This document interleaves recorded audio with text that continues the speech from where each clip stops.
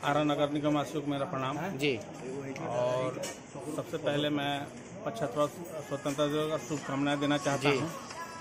और ये कोई धार्मिक पर्व नहीं है ये हम लोग का मिलत का पर्व है सब कोई आपस में मिलजुल के मनाएँ और मिलजुल के रहें। जी। यही सबसे अपील कर क्या आप तिरंगा ये तिरंगा वितरण कर रहे हैं? क्या मैसेज देना है आखिर? तिरंगा वितरण कर रहे से कि आपस में मिलजुल के रहें सब कोई। मेरा कहने का तात्पर्य यही है। जी कौन सा मोहल्ला में वितरण किया साल पर आप जनता से क्या कहना चाहेंगे? पचहत्तरवें साल पर जनता से ही कहना चाहते हैं कि